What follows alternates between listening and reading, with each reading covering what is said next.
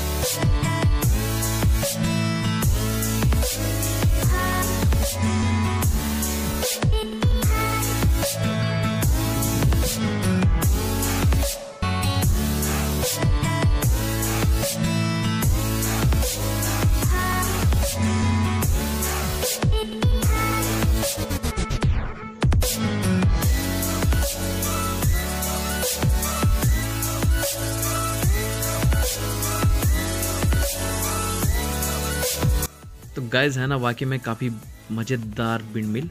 इसको बनाना भी बेहद आसान है। गाइज़ अगर आपके यहाँ हवा काफ़ी तेज़ चलती है तो हैवी पेपर का बनाना और जो हवा, अगर लाइट चलती है, हल्की हवा चलती है तो हैवी लाइट पेपर का आप बिंड मिल सकते हो। गाइज़ आपको वीडियो पसंद आए तो प्लीज़ वीडियो कर दें लाइक एंड शेयर और चैनल पर नए हैं तो प्लीज़ करना चैनल को सब्सक्राइब मिलते हैं फिर नेक्स्ट वीडियो में। चैन थैंक्स फॉर वॉचिंग